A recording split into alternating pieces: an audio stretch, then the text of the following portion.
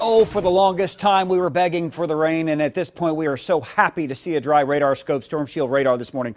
Quiet across eastern Oklahoma. Only a very low chance for a thunderstorm across the south and east today, but give us a chance to dry out. Maybe you can mow. If you can get the mower through all the mud, you might have to hire a goat. It's 80. The heat index, it's 84 because this dew point temperature is 73.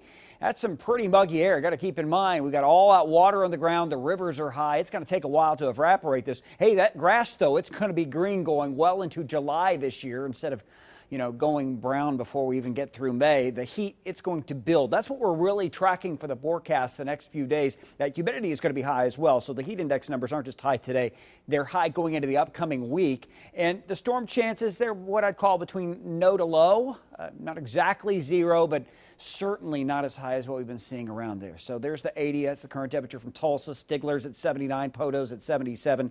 There's Okemah at 78 degrees. Uh, temperatures out across western Kansas this afternoon are going to be in the 100s. Our heat index numbers are going to attempt that. Look at there by lunchtime, the heat index numbers are already in the upper 90s. And then by this afternoon, this is 3 p.m. with a heat index of 101 from Bartlesville, 100 from Pryor, Vinita, Grove.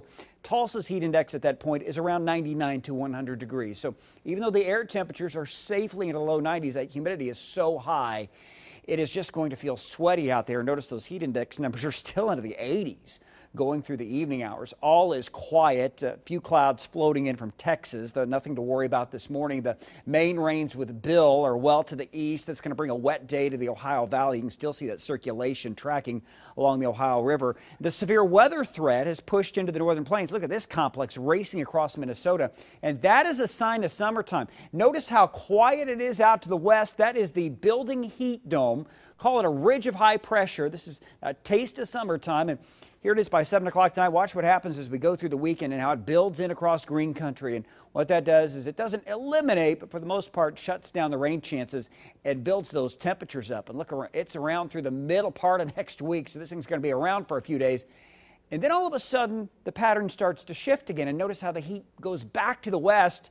And all of a sudden, we're allowed to pull in some cooler air. And toward next weekend, that allows a front to get into the area.